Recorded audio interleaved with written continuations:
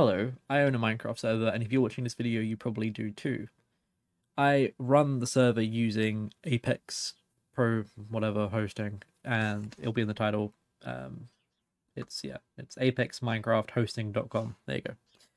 And I was trying to upload a custom jar file to it, and I was running into issues uh, in that it would just crash instantly. Um, and I've worked out why, and I'm putting this video out there so that if you are confused too, you can fix it. So let's jump into it. So for this purpose, I'm going to use paper because paper is the one that I like. Um, if you're doing modded stuff, there is more steps and you can find the tutorial for that on the Apex website. But this is specifically for a custom jar file, no extra steps. So I'm using specifically paper development builds because the current 1.20.6 version is not out yet. It's still an experimental. However, there are stable versions of paper to use. So we just click on toggle experimental builds, and you can see we're on build 60 of 1.20.6. Last updated two, two hours ago.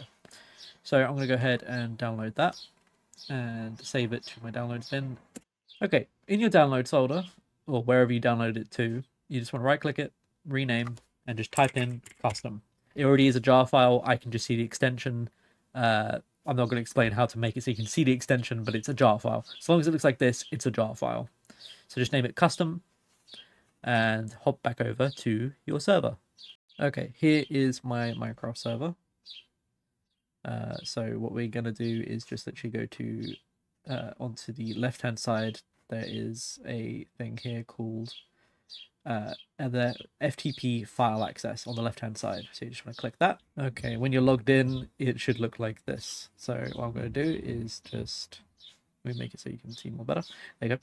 Uh, we're going to. I've got a lot of stuff. This server's been going uh, since 2016, so there's a lot of files. We're going to do type uh, Control F. So Control F is search and type in jar, and this is the jar folder. So you click on that.